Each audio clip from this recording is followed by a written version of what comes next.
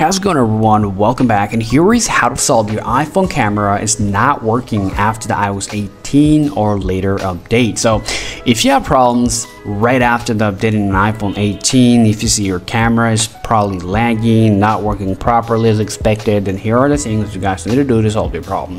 The very first thing that you guys need to do here, you gotta simply remove the application from the background. So if you enable your camera application from your iPhone, first you gotta close it from your background and now you gotta head over to settings. You have to scroll down to camera and then you gotta just scroll down again and simply enable the lens correction and turn up the macro control. So this is important. Turn on lens correction, turn up macro control, get out of here and simply restart your iPhone and that would probably help you to solve your problems on iPhone. Now next, if you still have problems, there are a few things that you guys can do to solve your problems.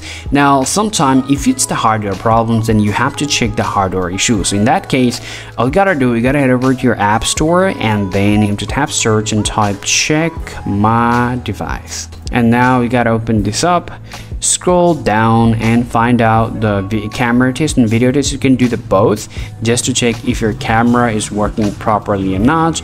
And after that if you see well your camera is not even working from this application in particular then that might be the harder problems. However if you see well it's working pretty fine from the application that means there's nothing to worry. There are just two more things can actually fix your problems. And you're all ready to go.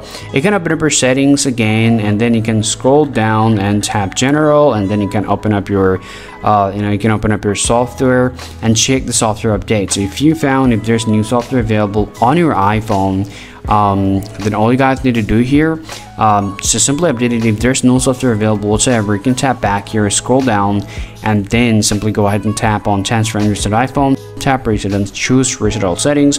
Hope that will work for you and it will solve your problems. Now still if you guys have any more questions to ask regarding your iphone camera is not working please let me know in the comment section guys. See you all